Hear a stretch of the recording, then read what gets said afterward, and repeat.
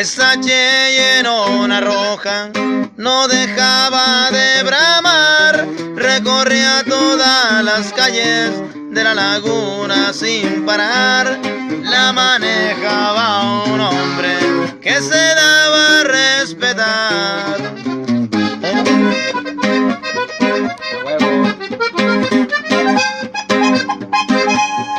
Con un porte de ranchero paso firme al caminar.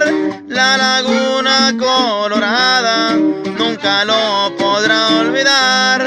Era un hombre muy humilde, de corazón a ayudar.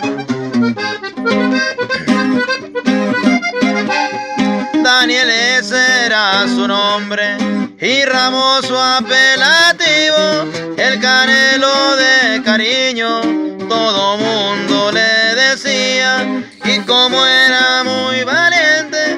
mucha gente le temía.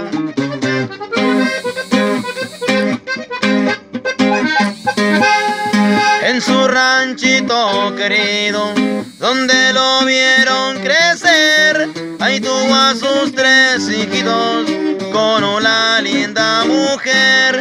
Y él siempre le decía que no los quería perder.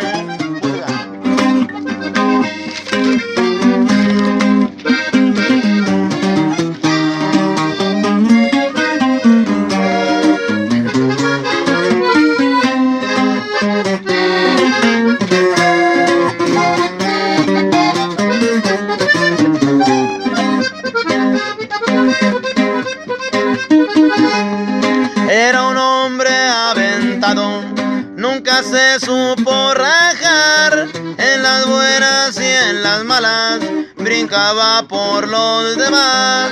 Quisiera de su familia, pues no lo pensaba más.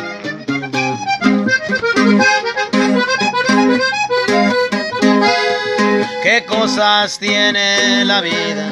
Cuando se iba a imaginar que en Culiacán, Sinaloa, esa linda capital, unos perros traicioneros ahí lo iban a matar.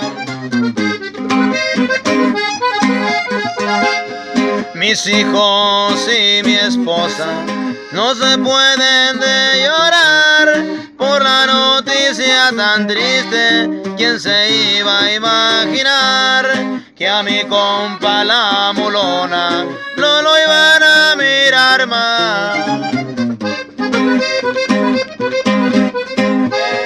Adiós, yo ya me despido. No se les vaya a olvidar que fui un hombre de los hombres, que muy poquitos allá.